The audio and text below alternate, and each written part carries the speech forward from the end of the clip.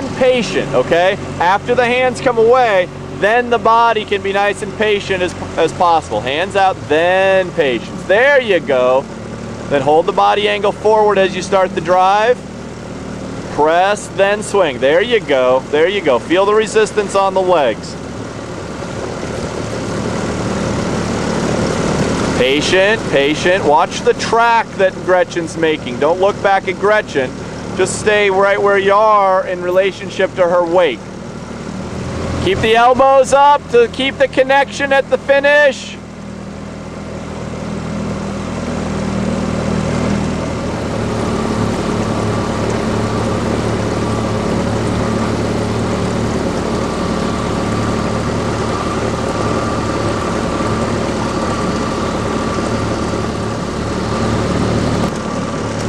Hands in, hands out. Then the body,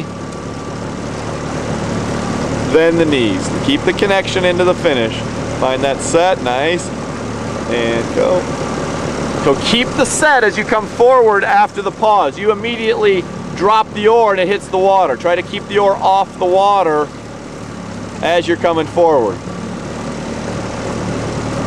That's it, that's it. A little bit of a lift there on that one. Fine set.